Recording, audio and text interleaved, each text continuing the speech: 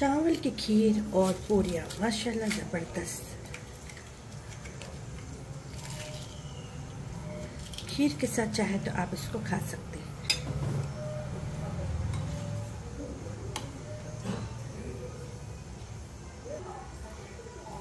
चावल की खीर की वीडियो की लिंक भी मैं आपको डिस्क्रिप्शन बॉक्स में डालूँगी और वहाँ से देख के बना सकते हैं। माशाल्लाह, चावल की खीर ज़बरदस्त बनी, जायकेदार बनी, ज़रूर बनाइए। अल्लाम वेलकम टू माई चैनल आज हम बताने जा रहे हैं पूरन की पूरी। पूरन की पूरी बिल्कुल आसान तरीके से बना सकते हैं आप, माशाल्लाह ज़बरदस्त बनेगी। इन ताला। इसके लिए मैं ले हूँ पाव किलो चने की दाल। इसको धो के तीन से चार मिनट, तीन से चार घंटे के लिए इसको भीगने के लिए छोड़ दी। ये दाल हमारे अच्छे से भीग गई, बिल्कुल सॉफ्ट हो गई। तो इससे क्या होता गलने में आसानी होती है और जो मैश करना रहता हम आपको पूरन के लिए, वो बिल्कुल आसानी के साथ हो जाता। बहुत नरम होगी दाल।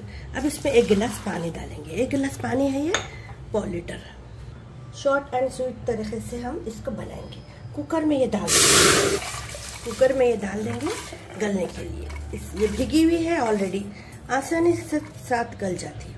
बिल्कुल एक ही पॉट में हम उसको गला ले सकते हैं। और फ्लेम को तेज रख के ढक्कन लगा देंगे। चार, तीन से चार सीटी होने देंगे, एक पाँच छः मिनट धीमे पे छोड़ देंगे, बाद में हमारे चने की दाल गल रही पूरन के वास्ते जब तक हम पूरे, पूरी की का मैदा भिगा लेंगे, आटा मैदा भिगा लेंगे। इसके लिए मैं लूँ पाव किलो मैदा। अब इसमें डालेंगे हाफ़ टी स्पून है, हाफ़ टी स्पून नमक, टू टेबल स्पून है ऑयल। अब ये इसको अच्छे से मिला लेंगे पहले।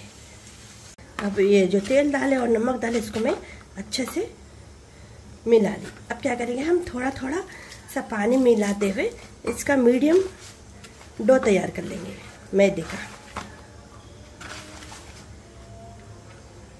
अच्छा एक दस मिनट इसको अच्छा गूंदना गूंदना अच्छा। एक सात आठ मिनट में इसको अच्छे से गूंद ली, और ये अच्छे से गुने गया। अब इसको कवर करके पंद्रह मिनट के लिए छोड़े। हमारा पूरन गल गया, अच्छे से, पूरन दाल हमारी अच्छे से गल गई। पानी भी इसका ड्राई हो गया। अगर पानी बच गया तो आप पानी में पका लेना, पानी नहीं फेंकना। अब पाव किलो हम लिए चने की दाल और पाव किलो 200 ग्राम मैं ले लूँ और कम से कम लगता 250 ग्राम। पाव किलो शक्कर लगती। अब इसको घेट लेंगे।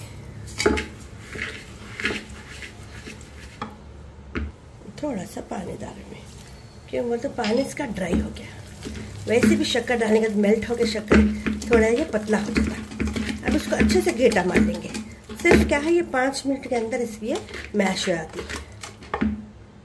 दाल हमारी अच्छे से मैश हो गई। अब इसको निकालना है ग्राइंडर में हुए फिराने की ज़रूरत नहीं है। सिर्फ़ इसमें दो, चार, पाँच मिनट के अंदर अच्छे से मैश हो गई।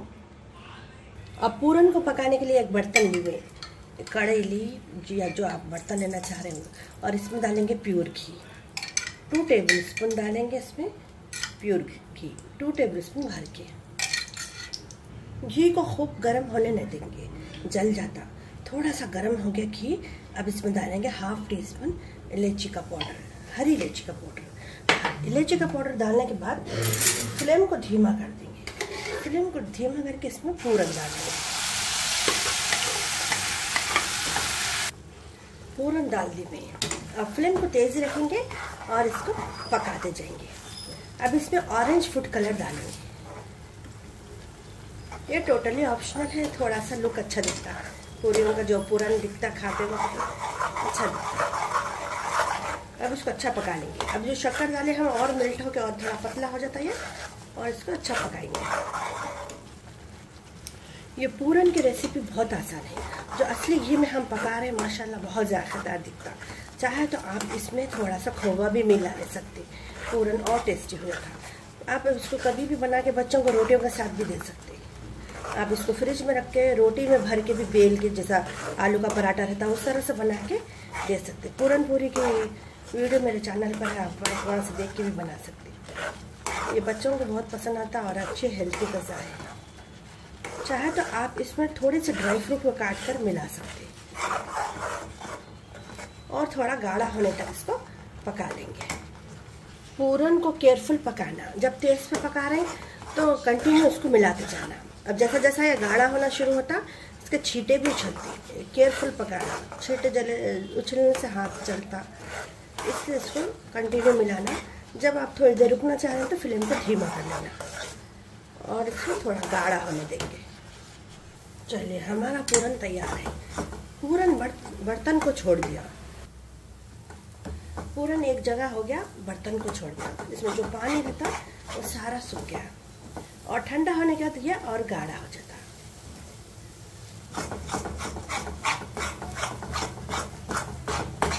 कंटिन्यू उसको मिलाते जाना।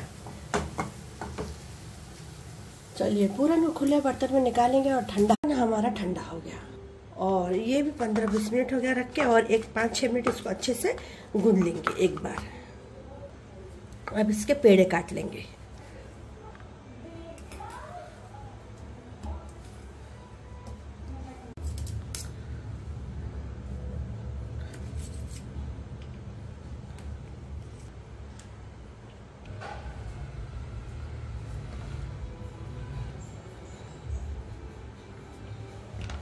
ग्यारह पेड़े बने।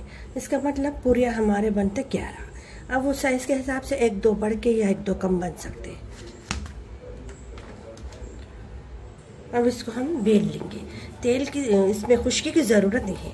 जो हम मैदे में तेल लगाए थे, मैदे में जो तेल लगाए थे, उससे क्या होता, ये चिपकते नहीं। अब इसको हम, बिल्कुल पतला नहीं बेलेंगे और ज़्यादा मोटी भी नहीं। और अगर आपको मुश्किल हो रही तो आप थोड़ी सी खुश्की लगा सकते थोड़ा सा मैदा हल्का सा डस्ट कर सकते अगर आपको मुश्किल हो रही तो।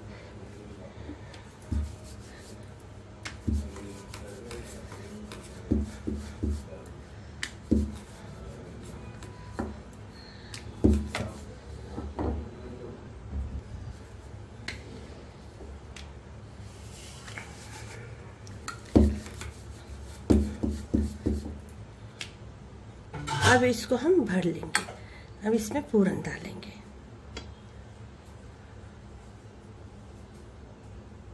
पूरन डालने के बाद किनारों को पानी लगा लेंगे।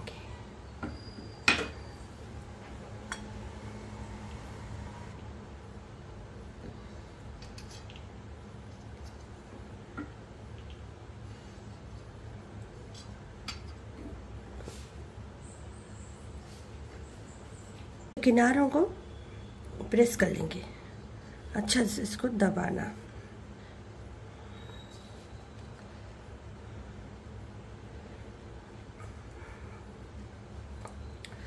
अब इसको हाथ से थोड़ा सा मोड़ते हुए इस, इसका डिज़ाइन बनाएँगे।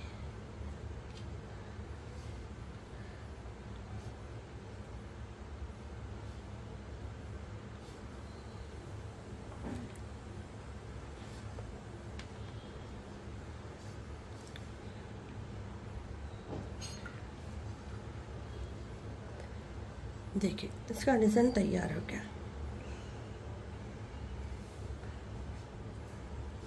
अब इसको निकाल के प्लेट में रखेंगे।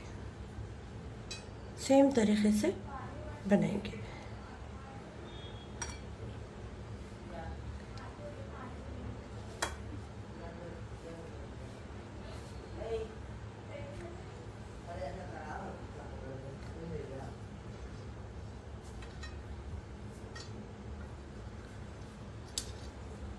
डिज़ाइन कुछ भी समझ नहीं आया तो आप फोक की मदद से भी इसका डिज़ाइन बना सकते हैं। मगर एहतियात के साथ बनाना, ये सामने चुप चुप के ख़राब भी हो सकता किनारों में।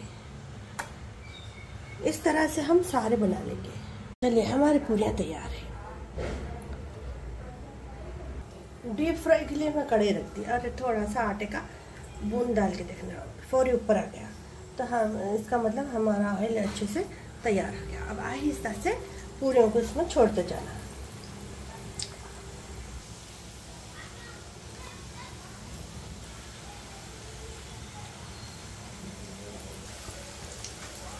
अब एक साइड इसकी साइडों को बदलते जाएँगे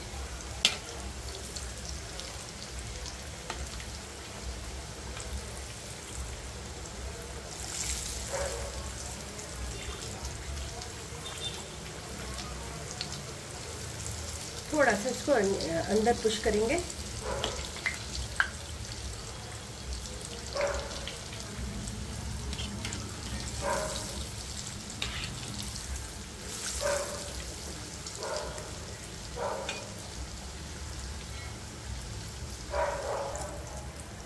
थोड़ी थोड़ी देर से इसकी साइडों को पलटना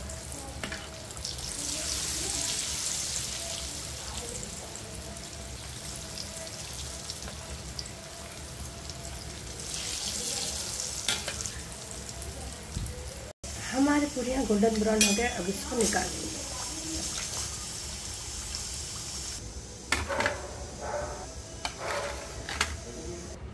चलिए माशाल्लाह हमारे पूरियाँ ज़बरदस्त बने पूरन की पूरी की रेसिपी मेरी मुकम्मल हो चुकी है आपको पसंद आए तो प्लीज़ लाइक शेयर सब्सक्राइब कीजिए शुक्रिया अल्लाह हाफिज़